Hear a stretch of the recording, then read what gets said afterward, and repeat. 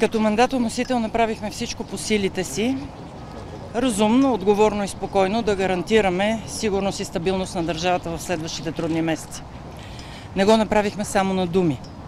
Изготвихме програма, внесохме 79 закона в Народното събрание. Приемането на тези закони щеше да облегчи живота на всички български граждани. Уви, тази програма не беше допусната дори до гласуване в дневния ред.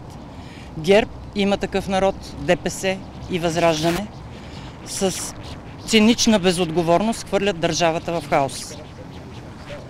Днес върнахме неизпълнен мандата. От това, което президента каза, разбрахме, че вероятно няма да удължи работата на Народното събрание. А кога ще насрачи изборите? Как? Имаше критика от страна на президента за хаос в енергетиката. Първо, президента не е спрял да критикува това правителство от първия му ден, въпреки че той създаде основната партия в него, продължаваме промяната. Заедно с ГЕРБ, ДПС и има такъв народ и възраждане, не ни дадоха дори 100 дни и го заявиха. Нямате 100 дни. Българска политическа партия проявихме най-висока степен на отговорност. Още миналата седмица алармирах в парламента колко е тежък случая с липсата на председател на КЕВА. Така че не приемаме критиката на президента към БСП за България за това, че оставяме хаос. Препоръчваме му да обърне тази критика към има такъв народ, чието министър на енергетиката те са излучили. В последните месеци всички кризи в енергетиката се прехвърлят на всички други, но не и там, където има място. Сви Трифонов е излучил министър на енергетиката Николов. Решенията в енергетиката се взимат от министъра. Нямаме никакво желание да носим отговорност за това, тъй като многократно предупреждавахме. И аз лично. Преди три месеца. Не преговорите с Газпром. Заедно с индустрията го заявихме в нашето министерство още преди три месеца.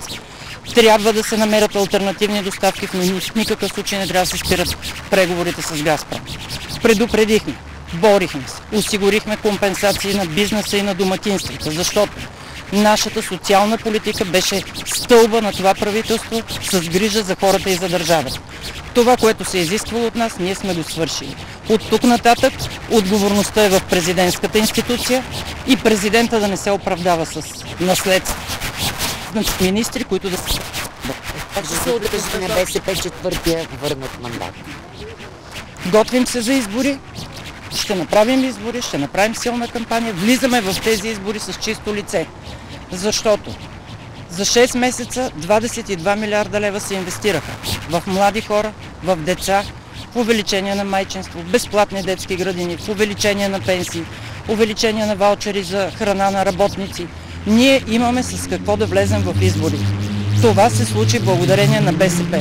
Така че продължаваме с програмата, която представихме в, много изразява нашите и идейни, и, и законодателни виждания как трябва да продължи България. Ние знаем какво трябва да се случи. Доказахме го не само на думи, но и с програмата, която внесох. Готови сме с летящ старт в следващия парламент да започнем. Ако сте сигурни дали това ще бъде проблем за БСП? Вие настоявахте те да се върнат? Очевидно няма да има хартияни бюлетини. Да, това е проблем за нас защото много граждани се изплашиха от машинния вод и не отидоха да гласуват. Това е проблем и за България, защото представлява ниска избирателна активност. Това е проблем за всички институции, освен за нас като партия. Аз издигнах Румен Радев персонално. Той дължи и двата си мандата, първия особено на БСП, втория вече и на други партии, които го подкрепиха. Гражданите да оценят неговата работа като президент. Президентът не поставя пред нас въпроса за наши участници в служебния кабинет. Допускам, че ще постъпи както и първия път. Ще вземе някои представители на социалистите зад гърба ни. От сега да кажа, няма да носим отговорност за работата на служебния кабинет, тъй като никой не се е обърнал официално към нас като партия да дадем предложение за министри. Ние сме партия. 130 годишни.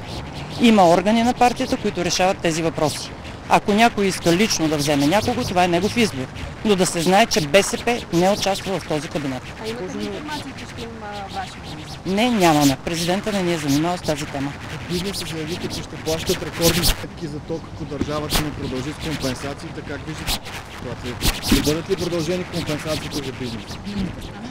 Да отправят тези въпроси към ГЕРБ. Има такъв народ, ДПС и Възраждане, които свалиха кабинета. До момента, в който функционираше кабинета обективно и бизнеса много, го, много добре го знае, защото при мен като министър на економиката и индустрията много пъти сме го обсъждали, ние им гарантирахме компенсации, спокойствие за работа и резултатът е виден. Първи в Европа по индустриален растеж.